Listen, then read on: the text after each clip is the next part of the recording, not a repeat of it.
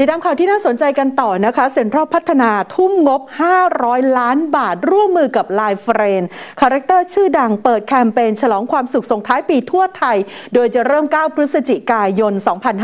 2565 ถึง 6 มกราคม 2566 เป็นการกระตุ้นเศรษฐกิจในช่วง high season ค่ะ นายณัฐกิตติ์ ตั้งพูลสินธนาผู้ช่วยกรรมการผู้จัดการใหญ่สายงานการตลาดบมจเซ็นทรัลพัฒนาบอกว่า ปัจจุบัน traffic ในศูนย์การค้าทั่วประเทศและ traffic tourist กลับมาแล้วเกือบร้อยเปอร์เซ็นต์สอดคล้องกับผลสำรวจจากอโกดาล่าสุดพบว่ากรุงเทพได้รับเลือกให้เป็นอันดับหนึ่งของจุดหมายปลายทางยอดนิยม ที่นักท่องเที่ยวทั่วโลกอยากไปเยือนมากที่สุด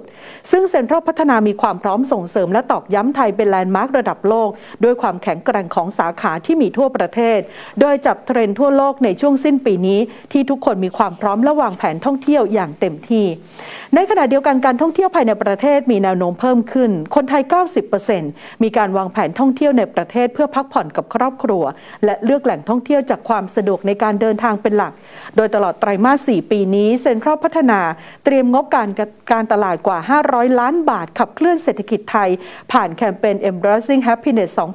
2023 รองรับทัวริสต์ไทยและต่างชาติ สร้าง tourism ecosystem ช่วยขับเคลื่อนเศรษฐกิจ โดยมั่นใจว่าจะมีส่วนช่วยดึงนักท่องเที่ยวต่างชาติมาไทย ได้ตามเป้าที่ทททตั้งไว้ 10 ล้านคนแน่นอนสำหรับแคมเปญ Year End ปีนี้เซ็นทรัลพัฒนาสร้าง global impact ด้วยกัน ด้วยความร่วมมือ global partner อย่าง LINE FRIENDS ที่เป็นคาแรคเตอร์ยอดนิยมของคนทั่วโลก มาให้ทุกคนสัมผัสอย่างใกล้ชิด บนพื้นที่แห่งความสุขกว่า 7,000 ตารางเมตร ในเซ็นทรัล 37 สาขาทั่วประเทศ และจะเป็นครั้งแรกในไทยนะคะที่จะได้เห็นห้องต่างๆ ของเหล่าเพื่อนๆ จาก Life Friends ซึ่งแต่ละสาขาจะมีห้องของ Life Friends ที่แตกต่างกันไปค่ะ ในความร่วมมือครั้งนี้ยังสร้างแรงบันดาลใจดึงดูดแบรนด์ชั้นนำมาร่วม Create Life Friends Collection พิเศษ ทั้งสินค้าแฟชั่น ขนม เครื่องดื่ม ใช้ศูนย์การค้าเป็นตัวกลางในการเชื่อมโยงความร่วมมือตอกย้ำการเป็นมากกว่า shopping center แต่เป็น cross region platform